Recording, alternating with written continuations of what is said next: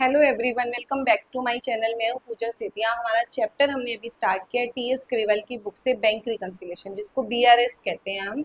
हमें इसमें सिर्फ़ एक ट्रिक्स पता होनी चाहिए कि कब आपको प्लस और कब आपको माइनस करना है। बहुत ईजी वे में आपको बताऊँगी कि किसको देख कर चलना है और कैसे प्लस और माइनस करना है। मैं क्वेश्चन फ़र्स्ट आपका रीड कर रही हूँ स्क्रीन पर देखिए From the following particulars, prepare bank reconciliation statement for Gobin January 2025.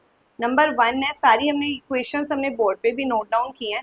Cheque issued to Ram 1500 and Sham 2000 on 28 January were cleared in February 2025 next है cheque received from Vishnu and Pawan 4000 were entered in cash book on 29 January but cleared by bank 5th February 2025. Bank charges 350 and interest on investment 5000 collected by bank entered in passbook on 31st January. Last day the bank balance as per cash book on 31st January 2025 was rupees 1,50,850. देखो सबसे पहले हमें जो bank reconciliation statement आपको start करनी होती है दो कॉलम बनाते हैं हम एक प्लस का और एक माइनस का बस आप इस मेथड से भी कर सकते हो बुक में आपकी कोई इलिस्ट्रेशन जो है ऐसे मेथड से किया हुआ है और कोई क्या हुआ कि ऊपर वाला पोर्शन प्लस का और नीचे वाला माइनस का ऐसे भी। दोनों ही मेथड सेम होते हैं। हमें ये वाला ज़्यादा इजी लगता है तो ये वाला करना। अब सबसे पहले आपका जो हमारा बीआरएस होता है, आपको ये चेक करना होता है कि कौन से बैलेंस से आप स्टार्ट कर रहे हो। बैलेंस आपको पता होना चाहिए, हमारे पास जो होती है बिज़नेस के पास कैश बुक होती है और बैंक के पास क्या होती है पासबुक होती है। आपको इस क्वेश्चन के अकॉर्डिंग बैलेंस दिया था, देखो। The bank balance as per cash book. किसका बैलेंस दिया हुआ है? कैश बुक का। कैश बुक का कौन सा बैलेंस दिया? बैलेंस एज पर। कुछ नहीं बोला तो हमेशा कौन सा बैलेंस होता है? अगर आपको कुछ भी बोला नहीं होता पॉजिटिव बैलेंस होता है। कैश बुक का पॉजिटिव बैलेंस कौन सा होता है? डेबिट। तो इसका मतलब है कि हमारे बिज़नेस में कैश बुक में, बैंक कॉलम में पैसे आ रहे हैं। पैसा इतना रखा हुआ है। तो आप सबसे पहले प्लस वाले कॉलम से हम स्टार्ट करेंगे। कितना दिया है? One five zero one five zero eight five zero और यहाँ पे लिखेंगे balance as per cash book कौन सा बैलेंस है ये? डेबिट बैलेंस अब आंसर जो आएगा डेबिट बैलेंस से हमने कैश बुक से स्टार्ट किया। हमारा आंसर जो निकल के आएगा, वो credit balance as per passbook निकल के आएगा। हर इक्वेशन हम करके देखेंगे। हर इक्वे अब हम सेकेंड नंबर सबसे पहले हमने बैलेंस से स्टार्ट किया।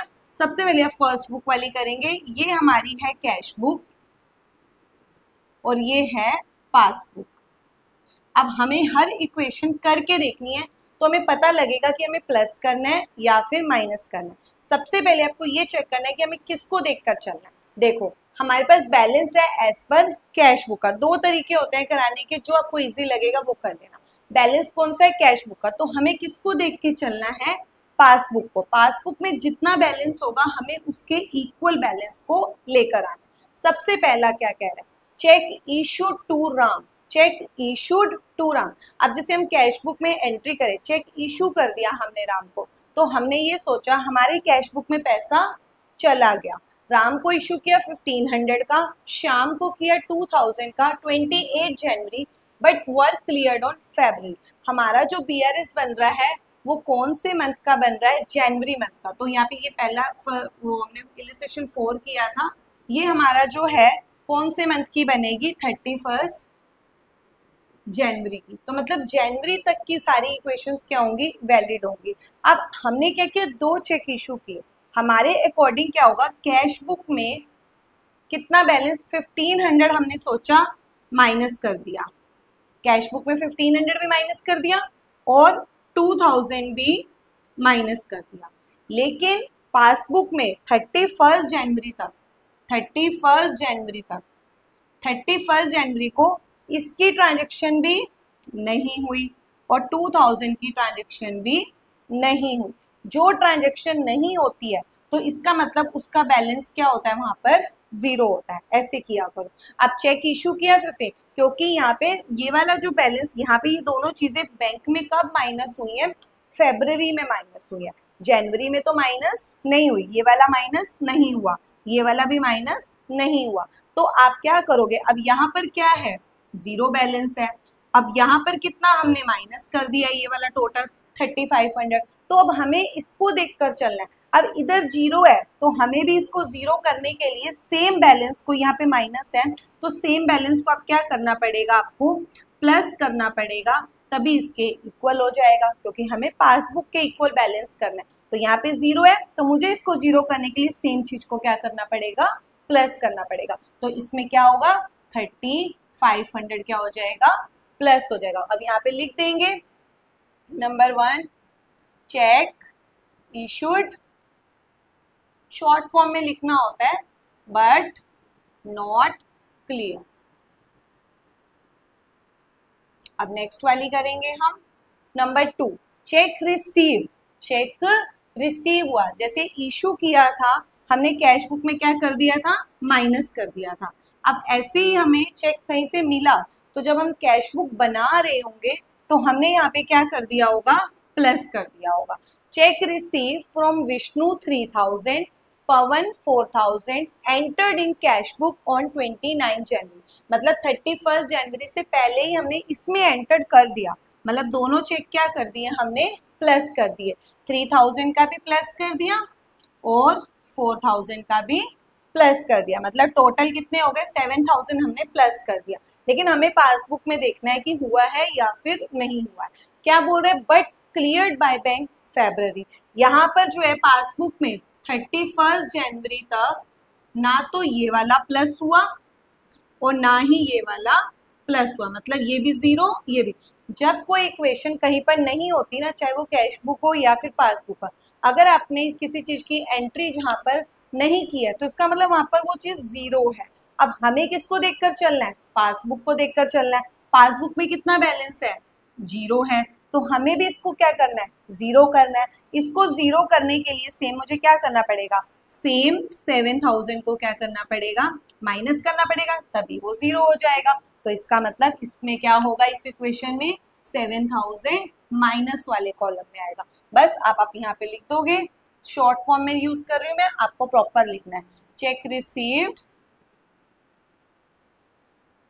but not entered in passbook कि पासबुक में एंट्री नहीं हुई है। अब last entry bank charges bank charges 350 and interest on investment बहुत अच्छी एंट्री और बहुत बार एग्ज़ाम में आती है। बैंक चार्जेस जो है 350 and interest on investment 5000 collected by bank bank का मतलब पासबुक पासबुक में कलेक्टेड का मतलब होता है प्लस और अगर चार्जेस होते हैं तो minus were entered in passbook passbook में एंट्री हो गई है थर्टी फ़र्स्ट जनवरी को. मतलब पासबुक में क्या किया? मतलब इस बैंक ने क्या किया? थ्री फिफ्टी रुपीज़ क्या कर दिए? चार्जेस माइनस कर दिए हमारे बैंक अकाउंट में से. और फाइव थाउज़ेंड क्या कर दिए? प्लस कर दिए। तो अब हमारा यहाँ पर ये बैलेंस भी हो रखा है, ये बैलेंस भी हो रखा है। अब यहाँ पर ज़ीरो है। अब यहाँ पर एंट्री नहीं हुई है। तो हमें क्या करना है? जैसा जितना यहाँ पर हो रखा है, वही सेम आपको भी क्या करना है? कैश बुक में सेम करना है। तो अब थ्री फिफ्टी यहाँ पे माइनस है। तो हम भी क्या कर देंगे? थ्री फिफ्टी को माइनस कर देंगे। यहाँ पे फाइव थाउज़ेंड प्लस है।